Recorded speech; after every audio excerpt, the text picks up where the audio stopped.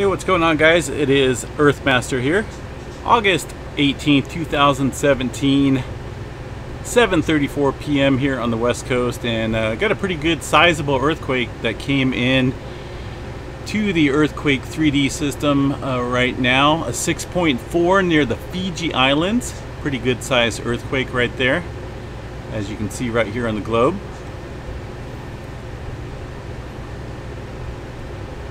And actually rather deep as well. Let me show you guys here on this on the map that I'm looking at. Uh, really deep 6.4 earthquake, 538 kilometers below the surface of the Earth. Uh, pretty deep.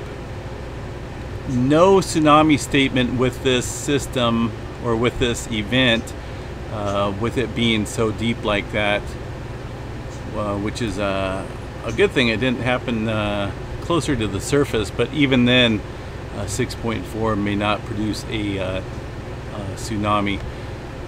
But uh, yeah, rather rather deep earthquake and rather large as well. Taking a look at the seismograph stations here. Well, we will be seeing some P waves if they haven't hit already within these stations. It looks like a lot of these stations have already been hit from that uh, 6.4 earthquake in the Fiji Islands region.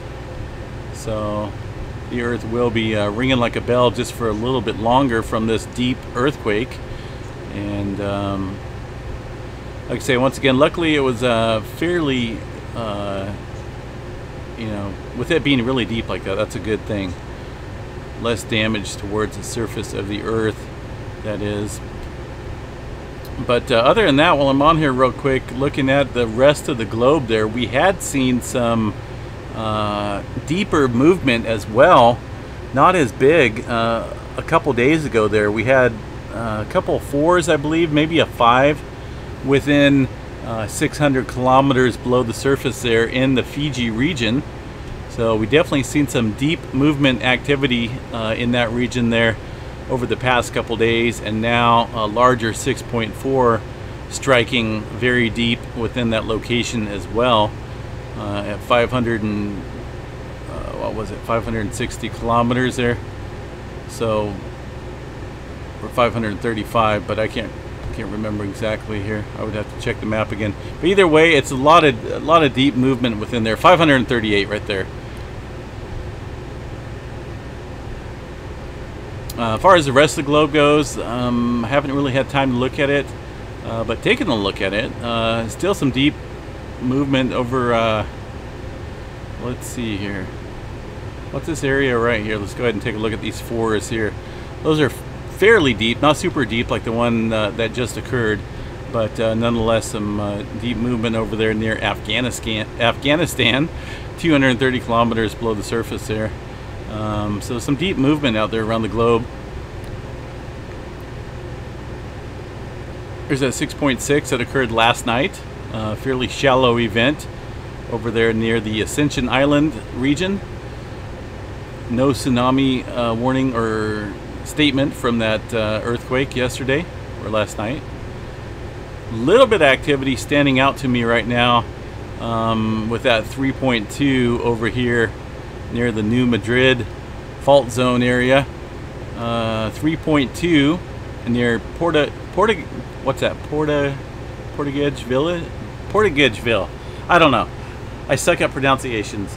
But uh, in Missouri, uh, over there around the New Madrid fault line, so uh, 12 kilometers below surface, a little bit of activity going on in that part of the country, uh, which we will watch for any type of further movement always there. That's a potentially active dangerous fault system over there uh, very capable of producing some very large earthquakes uh, in that region there. Just been a while since they've had any.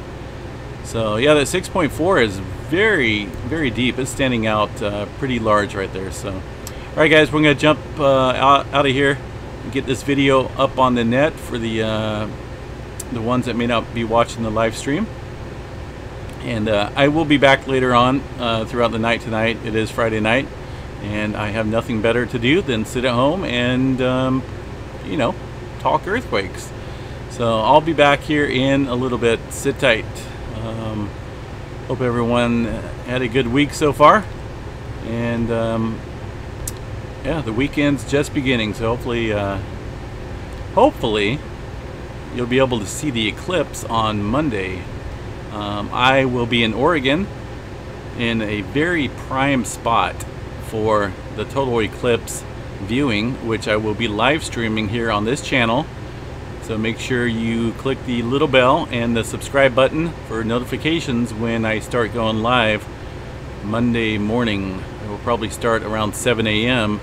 and live stream through the whole event. Uh, and uh, we'll see how she goes. Hopefully everything works out good and uh, I know it's going to be an awesome sight.